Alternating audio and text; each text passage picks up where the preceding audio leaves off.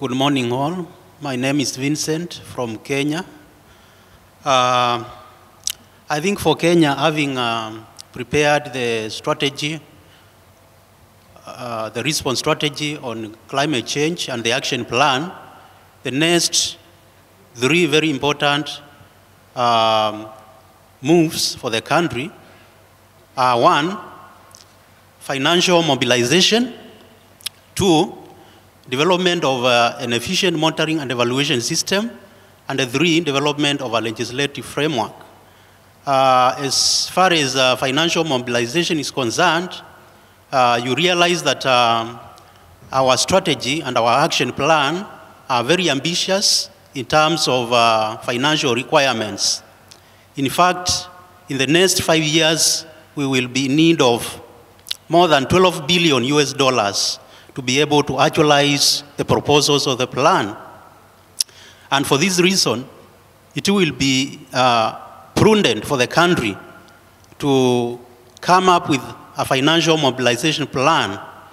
And uh, I can tell you that plans are underway to come up with a, an adaptation authority which will be responsible for pooling resources and uh, sourcing for funds from multiple sources. We cannot rely on the revenue from our country because the economy of our country is young. So we'll be in need of resources from multiple sources and particularly from developed world. Secondly, as far as uh, monitoring and evaluation is concerned, we have already begun aligning the action plan with our medium-term planning process. In fact, uh, we are going to be conducting periodic reviews after every five years. Uh, and this is because we want to come up with climate smart projects. We want to be conducting after every five years. For example, uh, the current medium term plan is covering the period 2013 to 2017, and uh, also the action plan is also covering the same period. So we want the action plan and the medium term plans to be running concurrently so much so that uh, we can make the, plan, uh, the, the projects and the programs that have been proposed in the action plan, climate smart and climate sensitive. Uh, as far as legislative framework is concerned, we have realized as a country that we cannot go far without an up-to-date legislation.